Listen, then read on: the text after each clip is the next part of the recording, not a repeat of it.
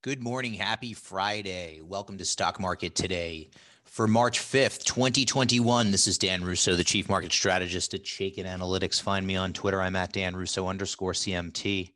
Stock Market Today brought to you today and every day by Chaikin Analytics. Head over to chaikinanalytics.com forward slash today. Sign up for an email where I get a lot of the content for this show.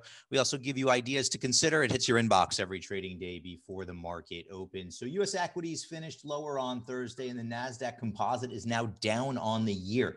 Growth and momentum underperformed as rates moved higher on the day. Energy was the biggest gainer and defensive sectors also led technology and materials uh, underperformed. Treasury sold off with the curve steepening. The dollar was stronger on the major crosses.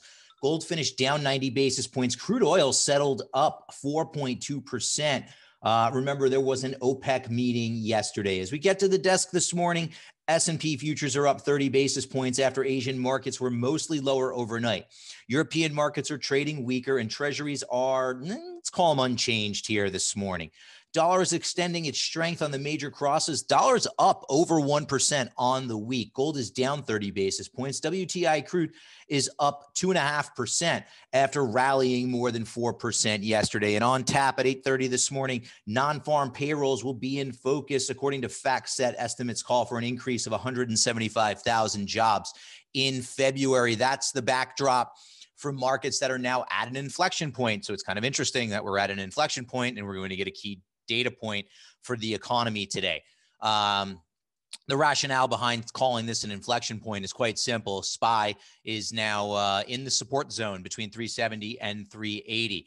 Uh, that is the range in the near term that we have been highlighting. It's in play now. Below that, 340. The Qs, 300 is now key. We took out near term support on the Qs. We're watching that 300 level closely. Uh, I think that that is the key marker here in the near term now, uh, above which we can say the structure of the uptrend is intact but wavering, as we started to say yesterday, uh, but still intact. We break 300. We have to start thinking about a different roadmap, at least as it relates to the Qs. Now, part of that roadmap has been playing out, quite frankly, as the cyclical value rotation reopening, call them what you want, ideas have been working in the face of weakness in the growth theme, especially mega cap and especially high multiple growth. So the roadmap, in fairness, has been shifting. Uh, but 300, I think, is the key level here for Qs. We tested it yesterday and then rebounded uh, from it to close at 304.10 on the day. IWM still a little bit above near term support in the 200 to 210 range, closing at, at 213 yesterday. And then below that, 160, 170 becomes key. I still see upside potential to 413 for SPY. Um, is the trend wavering here in the near term? Yes. Is it broken in the near term? No. All right. I think that's an important distinction to make. We are at an inflection point. Uh, we're going to get a key data point today on the economy with non-farm payrolls at 8:30. Um, so I think at this point you kind of sit back, see how it plays out. The market will dictate direction. The market will tell you which roadmap to pull out of the glove box. Uh, the trend is now wavering, but not broken, is my view here. If you had to give me, if, if you had to pin me down on a one sentence view of the overall equity market here in the US, I would say the uptrend is wavering, but not broken. Let's touch on our market in a minute now.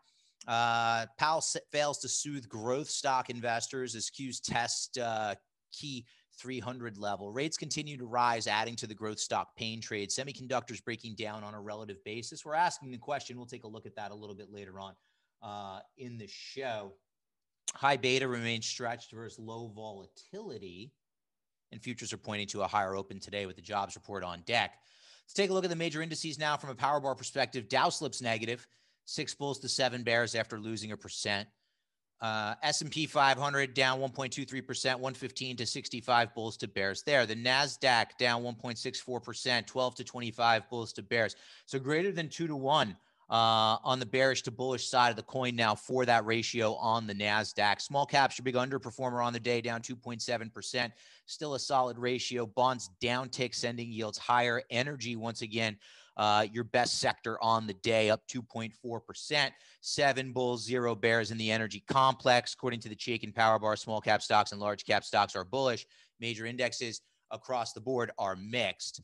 Let's take a look at our stock of the day now. Um, Berry Global Group, ticker symbol BERY, closed at 57.83, down 76 basis points yesterday. So we can call it an outperformer.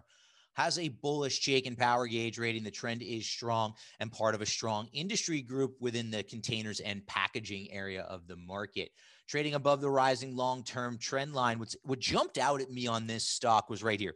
The spike in relative strength in the face of equity market weakness over the past couple of weeks uh, is interesting to me. I always find it helpful to search out the areas of the market that have held up the best when the broader averages get volatile. I think that that oftentimes can be a great starting point for new ideas. Taking a look at the overbought, oversold indicator here, rounding out of an oversold condition with bullish money flows. We have a bullish fund outperforming with the intensity of outperformance picking up of late uh, moving from oversold with bullish money flow as it consolidates above support and above the rising long-term trend line. That's an interesting setup to me. Uh, definitely warrants uh, some some attention here uh, for investors who uh, might be looking for new ideas. Taking a look at our sector tracker now, the movement of the major sectors over the last five days. Energy at the top of the list. Uh, and I think that following price having a process and focusing on relative strength um, really shine here because energy has been a disaster for was a disaster for a long time. Uh, we were bearish on it. There was probably a two year stretch where I just didn't have anything good to say about energy. Uh, and but that changed in December. And rather than remaining dogmatic, rather than you know pointing to things like, well, President Biden is for clean tech, and we had a blue wave in in Congress, and clearly this is uh, bad for traditional energy. Um, no, we followed price, we followed relative strength, and got on board. Uh, I think that uh, dogma is probably one of the worst traits for an investor to have. Uh, when the facts change, changing your mind often makes the most sense. And that's what's happened here. Uh, and energy has worked higher. Comms and financials also higher over the past five days of trading. Industrials, materials, utilities, and staples in the middle of the pack. Healthcare, tech, discretionary, and REITs at the bottom of the list over the past five days of trading.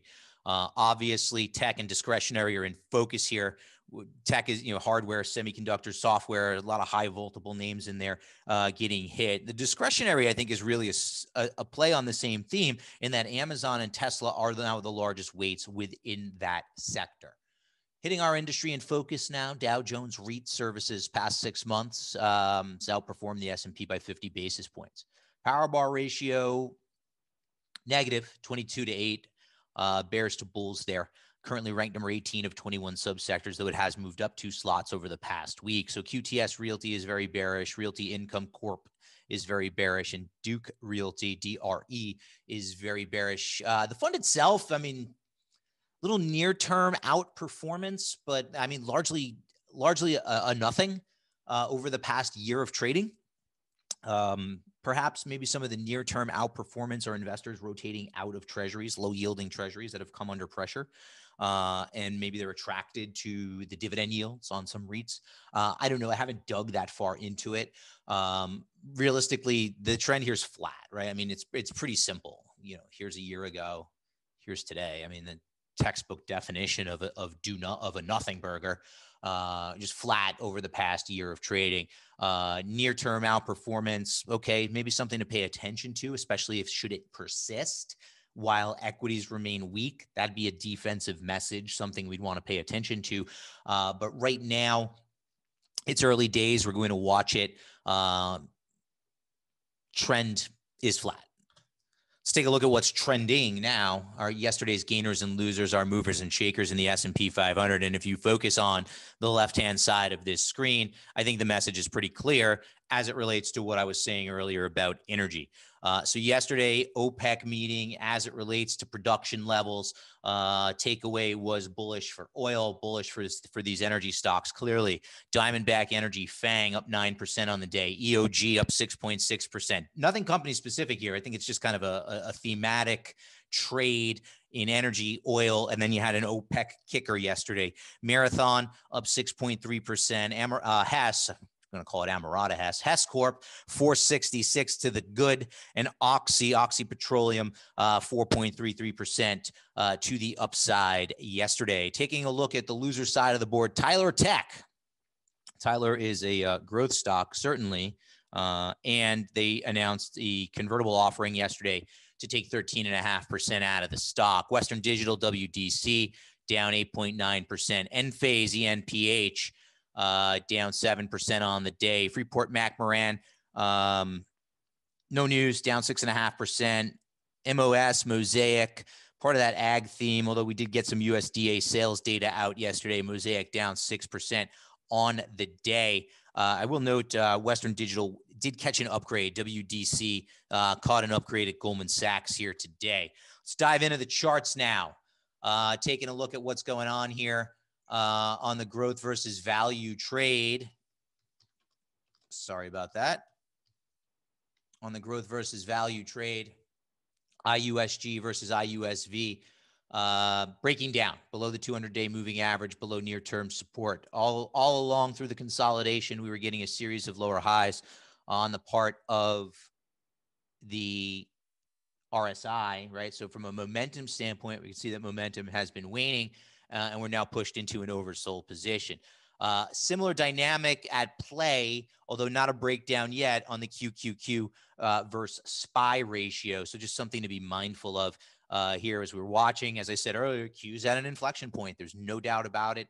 Um, next couple of days are going to be important uh, for that uh, QQQ, the Nasdaq 100 ETF. But growth growth versus value after a solid um, first kind of eight months of 2020 peaked out September 2nd. Uh, went into a consolidation and is now breaking down from that consolidation below the 200 day moving average. Notice too that the 200 day moving average has gone from rising to flat. Uh, so clearly the trend has changed here. The question is, what happens on rebounds? Does a rebound just kind of take us up to the breakdown level and fail? That would certainly be a change of character for this ratio and would tell you that, yes, the growth over value trade is likely over. So it's something that uh, we want to be watching closely in the days and weeks ahead. Taking a look at semis on a relative basis, uh, breaking near term support and uh, still above the 200 day moving average. Now, remember, my big kind of gripe with the semi relative to SPY ratio is that for a long time it's just really extended from the 200 day, you know, over 20% above the 200 day moving average on the ratio here. Uh, we're down to less than 10% above uh, on, on, the ratio. So I think that's important. Um, taking a look at the bigger picture trend still up near term breakdown no two ways about it. That is what's happening. RSI, after failing to become overbought on the most recent spike higher, which also left a negative divergence. Notice how we have the um, higher high here for the ratio, but the lower high on the RSI. And RSI is now pushing on a string at the bottom end of bullish ranges uh, for this ratio. So something um, that we're going to be want- watching closely Remember, uh, we pay close attention to semiconductors as a read on the broader market, uh, especially kind of the momentum of this ratio. When semis uh, are, are, are outperforming, that's generally positive.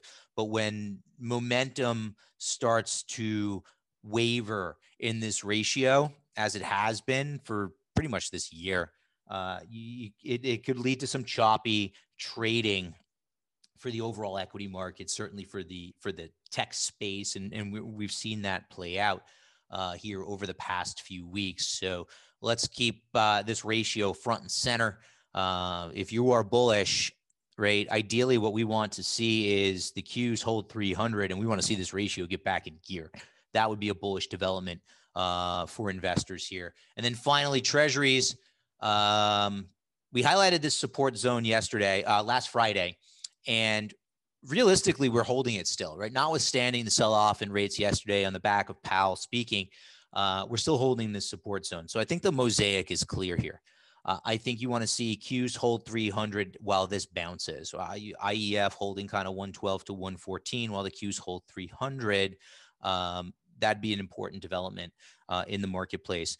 Should those should these levels break, um, we have a new dynamic at play in the market. I think today and the next couple of days are going to be real important, especially watching this. Uh, watching rates here as well, right? Rates have backed up uh, to one five on the 10 year. So that's going to wrap us up for today. I hope everybody has a great weekend. Head over to chaikinanalytics.com forward slash test drive to take us for a spin. I'll talk to you Monday. Hey, Grayson Roze here with Stock Charts. Thank you so much for watching. I hope you enjoyed that video. If you did, consider giving it a like down below, maybe leave us a comment, and if you're new to the channel, you can subscribe at the link up above. We're gonna bring you daily content from an incredible collection of technical analysts and financial experts.